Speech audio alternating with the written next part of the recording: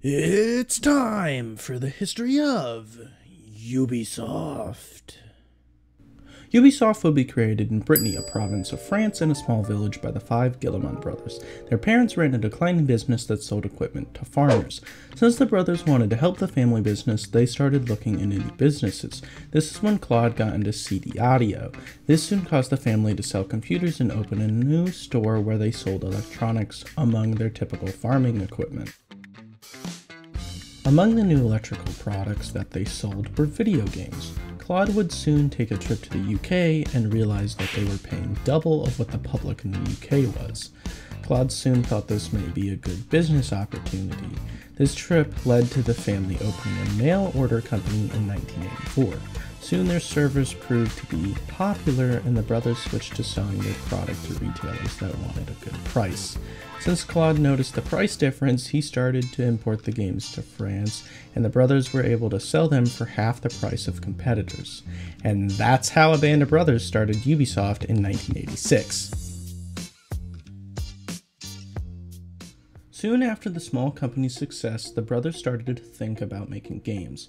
Rather than recruiting developers to their Paris office, the Guillemot brothers decided to lure people in with a literal castle for a work environment.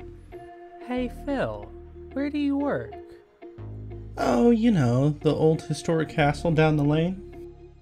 Ubisoft only kept the castle for 18 months. It started to cost them too much. According to IVS, it costed $1,000 a month just to heat one room of the castle during the winter. In Ubisoft's early days, the company tried to be in close ties to Nintendo and Sega, which may seem like a good idea now, but back then, most developers were working for Apple and Amiga, so it seemed like an odd choice. The company would relocate to Paris after leaving the castle. This would cause Michael Ancel to leave as he was still just a kid and couldn't support himself in Paris. Ubisoft was very open to having developers leave and come back as long as they had an idea. In his time away, Michael Ancel would come up with Rayman, and would later pitch it to Ubisoft with Frédéric Houde. The pitch was well received, but the console it was originally designed for never saw the light of day, that being the Super Nintendo CD system. After this, Ubisoft realized they needed to reorganize the project and they needed to gain money. The game went from having two people as developers to over a hundred. At the time, this was a big deal because development teams of this size were only in Japan and the US. Ubisoft wanted to beat Japan's giants, so they wanted to release the game on a new console before anybody else.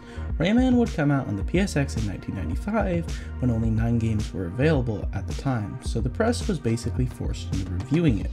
Now this may seem like it's all going pretty well, but it actually took 18 months before the game became profitable. Rayman and its sequels, Rayman 2 and 3, would soon combine to sell over 20 million copies, making Michael Ancel's creation the first legitimate hit series in Ubisoft history. The success convinced the company to go public in 1996 to raise more money for its internal development endeavors. Soon Ubisoft would open studios in Montreal and Japan to make sure they could receive dev kits as soon as possible. This is when Ubisoft started to get into a rut. Creating new brands proved to be difficult for the young company. The brothers soon would get the idea to leave one person in charge of Ubisoft and let the others branch out. Gerard would soon start Gameloft and Michael would start a mobile game company. Ubisoft would sell the rights to these companies and by doing so their share price would multiply by 5. Ubisoft would purchase Red Storm Entertainment, the owner of the Tom Clancy franchise, in the year 2000. This would help Ubisoft break into the American marketplace.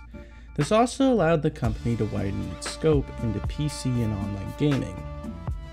Few developers actually wanted to develop for Microsoft's new console, the Xbox, so it seemed like a risky business venture when Ubisoft decided to do a console release of Ghost Recon. But Ubisoft pulled through, see they believed console connectivity was going to be huge, and they were right. To date, the Rainbow Six and Ghost Recon franchises have sold 23 and 18 million units respectively. Ubisoft would continue growing, but possibly their most beloved franchise wouldn't see the light of day until Ubisoft would acquire the entertainment division of the Learning Company after it was absorbed by Red Storm a year after they purchased them. This acquisition brought many franchises to the company Chessmaster, Myst, and Prince of Persia, just to name a few.